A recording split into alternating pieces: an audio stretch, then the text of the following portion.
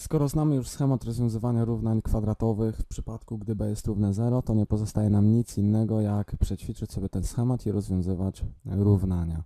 Polecenie jest następujące, rozwiąż równanie. Widzimy, że, widzimy tutaj, że mamy przykład x kwadrat minus 9 równa się 0. Bardzo podobny do tego przykładu, który rozwiązywaliśmy w lekcji dotyczącej schematu.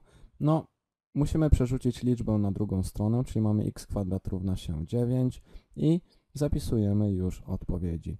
Czyli pierwszą jest x równa się pierwiastek z tej liczby, czyli 3, a drugą x równa się minus 3, czyli dokładnie zmieniamy znak tego, co jest tutaj. Na końcu musimy jeszcze zapisać odpowiedź. x równa się 3 lub x równa się minus 3. Jeśli rozwiążemy kilka, kilkanaście przykładów, to wejdzie już nam to w prawe, nawet będziemy mogli sobie w pamięci rozwiązywać takie równania. To naprawdę jest bardzo proste. E, tutaj mamy 3x kwadrat minus 9 równa się 0. Przerzucamy liczbę na drugą stronę ze zmienionym znakiem. Dzielimy przez to, co jest przy x kwadrat. Mamy x kwadrat równa się 3. Pierwszym rozwiązaniem jest pierwiastek z tej liczby, czyli pierwiastek z 3. Nie da się wyciągnąć, więc musimy tak zostawić. A drugim jest minus pierwiastek z 3. I musimy zapisać odpowiedź.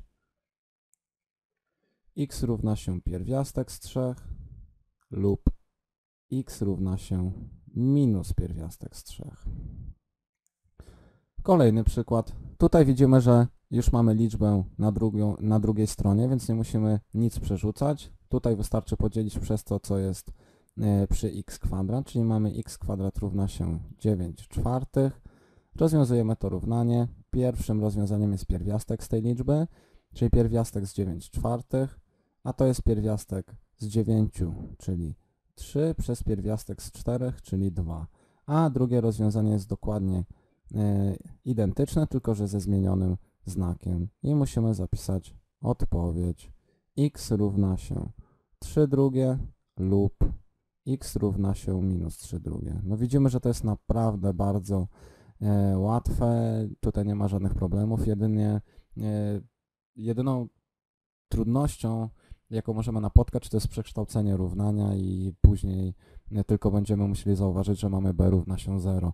No ale właśnie to przekształcanie może tylko być problematyczne, bo jeśli mamy takie e, formy jak tutaj, 3x kwadrat minus 9, x kwadrat plus 4, to naprawdę bardzo łatwo się rozwiązuje. A tutaj mamy ostatni przykład na tę lekcję, 2x kwadrat plus 20 równa się 0. Pierwszy krok przerzucamy liczbę na drugą stronę ze zmienionym znakiem dzielimy przez to, co przy x kwadrat i mamy x kwadrat równa się minus 10. I widzimy, że to jest równanie sprzeczne, żadna liczba podniesiona do kwadratu nie da minus 10, więc zapisujemy również odpowiedź, brak rozwiązań. Możemy też napisać, że równanie sprzeczne, równanie nie ma rozwiązań, jakkolwiek chcemy, tylko musimy zawrzeć yy, dwa słowa, że brak rozwiązań, nie ma rozwiązań.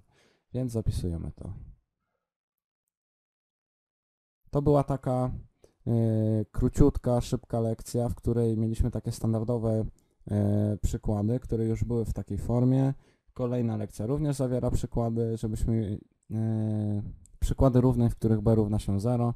Musimy sobie jeszcze przećwiczyć, utrwalić. Zawsze to powtarzam, matematyką niestety trzeba ćwiczyć i spędzić z nią troszeczkę czasu, żeby być dobrym. A niestety większość, naprawdę duża większość E, uczniów ma zdolności matematyczne, po prostu nie chce im się ćwiczyć, liczyć i później oceny są jakie są, a one wcale nie zachęcają do dalszej pracy.